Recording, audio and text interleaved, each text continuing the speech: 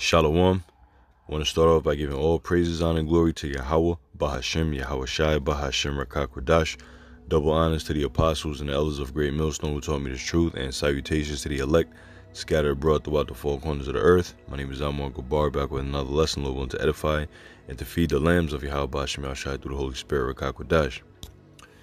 Now, um, you know, you see on the screen here, you know, you got Leviathan, the image which you know, would represent Leviathan. You have some chariots, you know, hovering around the atmosphere, which is a you know a prophetic picture, because everything you see here is written in prophecies. The chariots, Leviathan, and also too, if you notice at the bottom, the bottom, I'm gonna zoom in.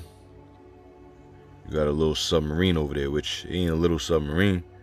Just a just a picture comparison as far as Leviathan, the chariots versus Esau and his submarines and his technology. You know, so through the spirit, man, Esau, you know, came out and admitted that, you know, the Pentagon, they admitted that uh some, you know, some videos that were leaked about the UFOs are real and valid. And, you know, it had me thinking that, you know, Esau might just come out and say that that Leviathan is real, or, or what, what he called the Loch Ness monster, you know, the sea serpent, the sea dragon, you know, he may just come out and say that is real one day, man. You know what I'm saying? Because at the at the rate things are going in 2020, the year of prophecy, prophecies are being revealed left and right. You know? And these are one of the most dreadful creatures that the Heavenly Father have created, Leviathan, man. You know, the sea serpent. You know, one of the most dreadful creatures that the Heavenly Father created. in the book of Job, tells you about him. And um, you know, I'm gonna make this, you know, pretty much a basic, you know, quick lesson just touching on Leviathan because, you know, that's one of the Most High's creations and, you know, one of his, uh, you know, prized, prized possessions, I should say, you know, besides, of course, man, but, you know, he, he, as far as the scripture is concerned, he takes glory in creating Leviathan, you know, but, um, let me jump right into it. This is the book of Psalms, chapter 104, and I'll start at 1. Blessed be the Lord, O my soul, excuse me, bless the Lord, O my soul, O Lord, Yahweh Shai, thou art very great, thou art clothed with honor and majesty. Who coverest thyself with lights as the as with a garment, who stretches out the heavens like a curtain. Right? Now that's talking about the heavens. Okay, this, you know what Esau will call space, outer space. He stretched it out like a curtain, meaning it's, meaning it's everlasting. Okay, it's wide. You know, there's no end to the heavens, as the scripture saying. Verse 3 says, Who layeth the beams of his chariots in the waters, who maketh the clouds his chariots, who walketh upon the wings of the wind, who maketh his angel spirits his minister of flaming fire. Alright, so the Heavenly Father, part of his glory is them chariots. Okay, because when he come back, he's coming back with his glory, and his glory is his army. Alright, and that consists of the chariots, which are his angels. Okay, who are um, operating those vehicles, which Esau called the UFOs. Okay, and there's always been countless sightings of UFOs throughout history. You know, they made they made um, you know those images, those those those Renaissance art with um, um, chariots or UFOs in them. You know, sailors when they were coming towards the Americas with uh, Israelites, slaves in them, in them ships, they seen chariots. You know, they seen chariots. Those that sunk you know, could have been Leviathan who sunk him.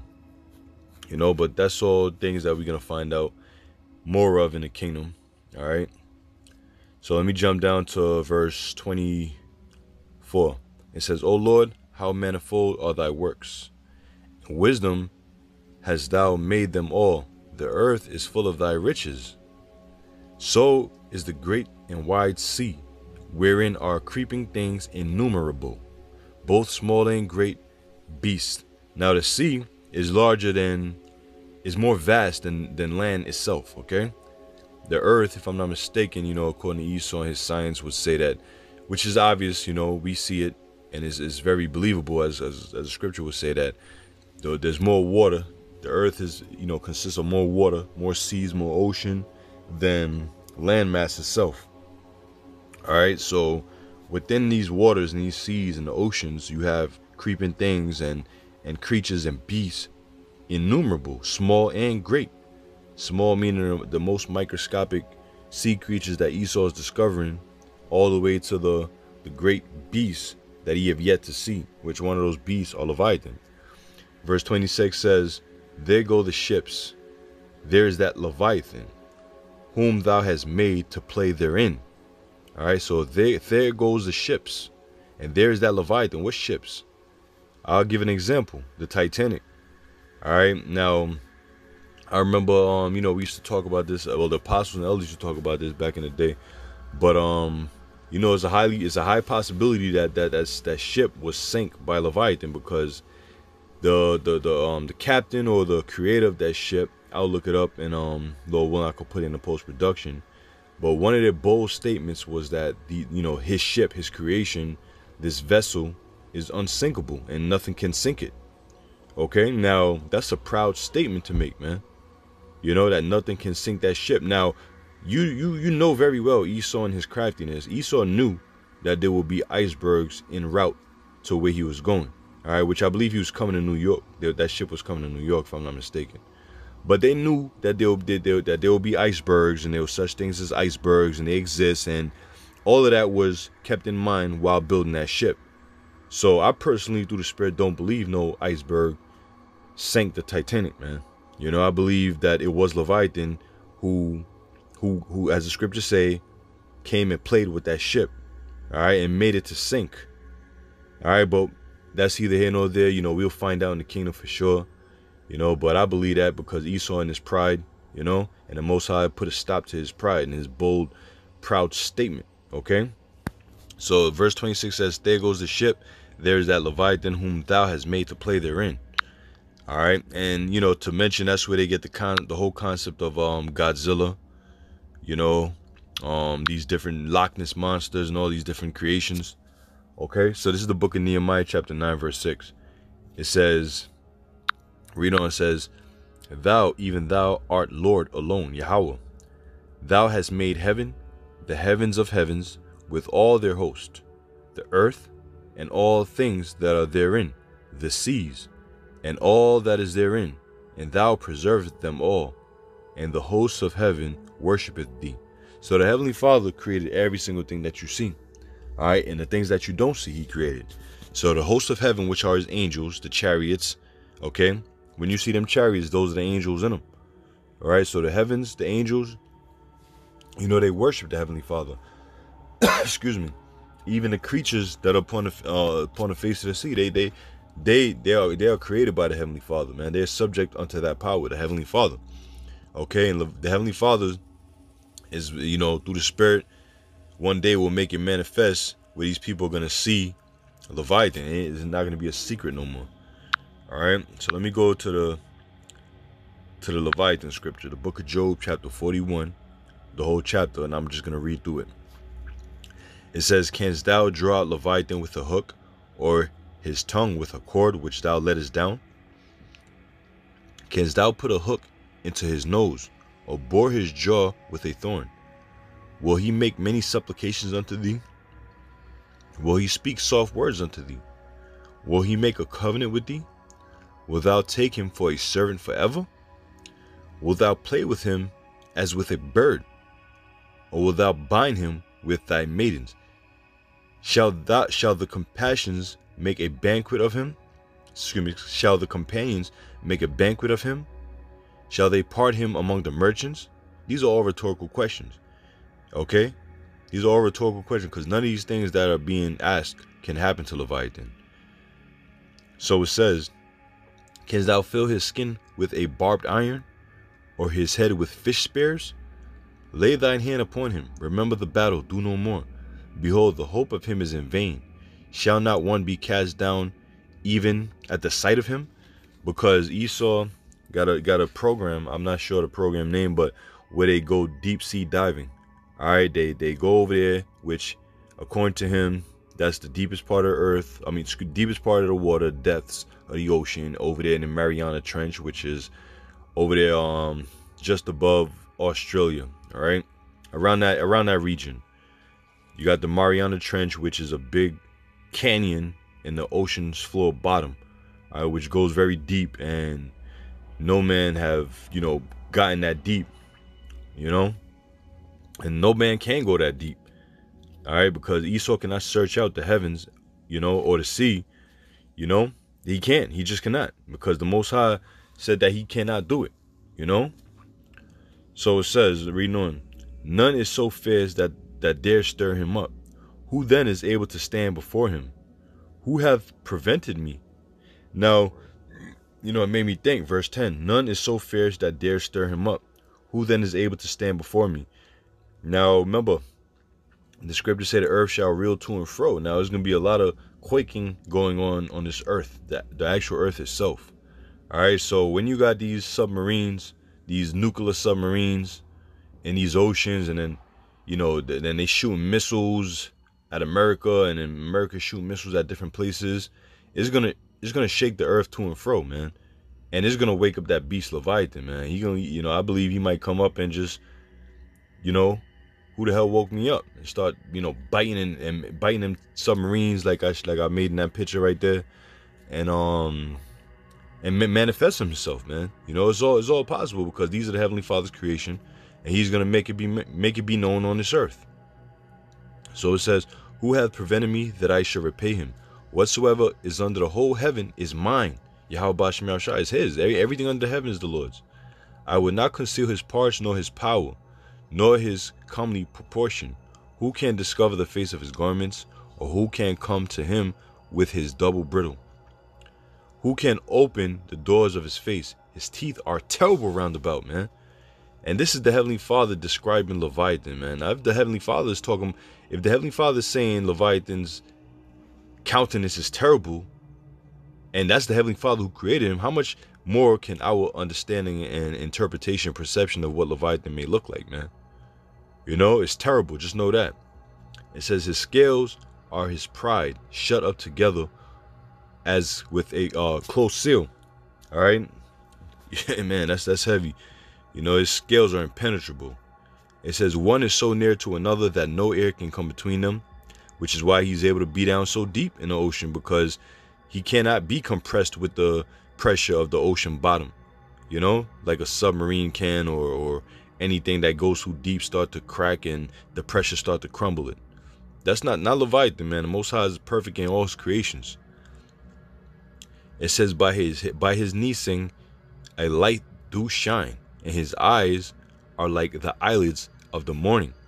That's how bright his eyelids are, man. When he opens his eyes, that's how bright and big they are. Okay, out of his mouth go burning lamps, as sparks of fire leap out. That's fire. All right, that's fire. Okay, so he he can breathe fire or spit fire, if you may. All right, out of his nostrils goeth smoke. Out as excuse me, out of his nostril goeth smoke as out of a seething pot or cauldron. Okay, so he blow that smoke out of his nose and that fire out of his mouth. That's that's a sea serpent, that sea dragon, man. you know? His breath kindleth coals and the flame goeth out of his mouth. Fire, fire breathing dragon on the water at that. It's the Most High's creation, man. You know, and you got a lot of um in, in um ancient time these Vikings and and these uh sailors and so on and so forth used to make images of um these, these this type of creature, these dragon type creatures. That's because they they seen a Leviathan, all right? And I say a Leviathan because the Most High always made more than just one. You know, when it comes to creatures and creation, he always made more than just one in abundance for population. So there's there's a lot of Leviathans down there. You know, and their lifespan is is is, is a lot longer than ours. You know? so it says, In his neck remaineth strength, and sorrow is turned into joy before him. Excuse me, let me read that again. In his neck remaineth strength, and sorrow is turned into joy before him. The flakes of his teeth of his flesh are joined together. They are firm in themselves, they cannot be moved. His heart is as firm as a stone, yet as hard as a piece of nether millstone.